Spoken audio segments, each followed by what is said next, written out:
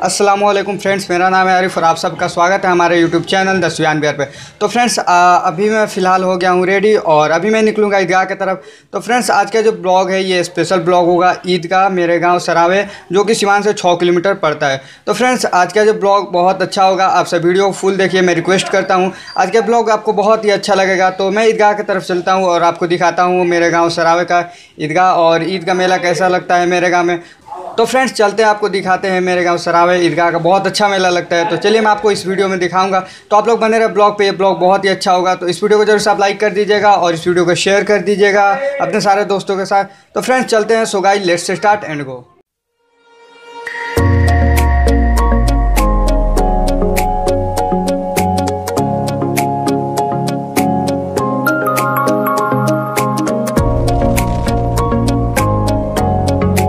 अभी मैं पहुँच गया हूँ ईदगाह में, जैसे कि आप सीन देख पा रहे हो, और लोग यहाँ पे बैठे हुए हैं नमाज़ पढ़ने के लिए। अब कुछ ही देर में ईद का नमाज़ स्टार्ट होगा।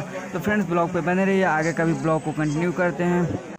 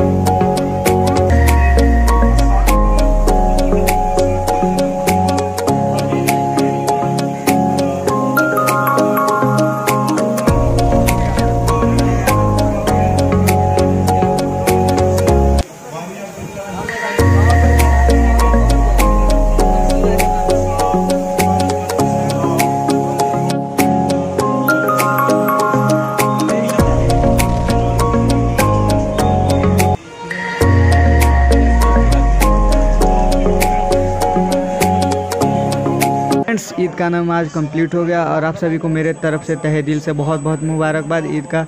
और चलिए आगे का भी सीन दिखाते हैं, लोग एक दूसरे से गले मिलेंगे, जो कि बहुत अच्छा लगता है ईद में। तो चलिए वो भी सीन देखते हैं इस वीडियो में।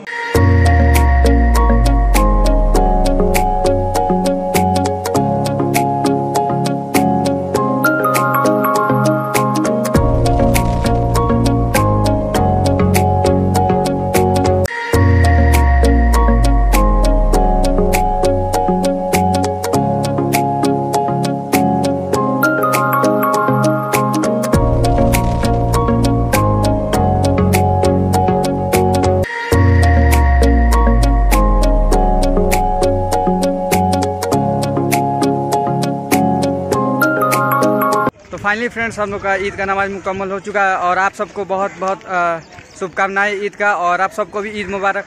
तो फ्रेंड्स ये वीडियो आपको ज़रूर से पसंद आएगा तो अभी फ़िलहाल मैं जा रहा हूँ घर। तो सोचा अब मैं यहीं पर ब्लॉग को एंड करता हूँ। तो इस वीडियो को ज़रूर से आप लाइक कर दीजिएगा और उम्मीद करता हूँ ये वीडियो आपको ज़रूर से पसंद आएगा। और हाँ चैनल को ज़रूर से सब्सक्राइब कर दीजिएगा। तो गाइस मिलते हैं नेक्स्ट ब्लॉग में। तब तक के लिए बाय बाय टेक केयर